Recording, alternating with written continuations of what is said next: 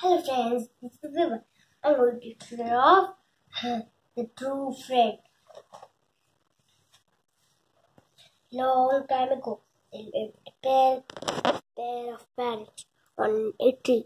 An old snake also lived in a hole in the same tree. The snake was too weak to go out to look for food, so the parrots used to leave some food for him near the hole.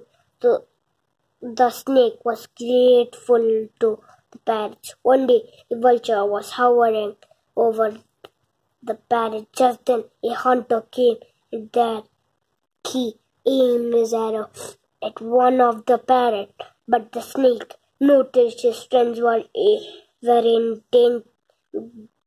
danger and bit the hunt bit the foot of the hunter to save them. Snake spit ruined the hunter's aim and the arrow struck the vulture instead. By seeing, saving their lives, the snake showed that he was a true friend. One day, a pair of parrots lived in a tree in a small hole. Snake also in the same tree. As the snake was too old to go find for food, so the parrots every day leave food near the hole. One day, Vulture was howling to the two parrots. Just then, a hunter came. He aimed his arrow into one of the parrots. Just then, the snake saw that his friends are in danger.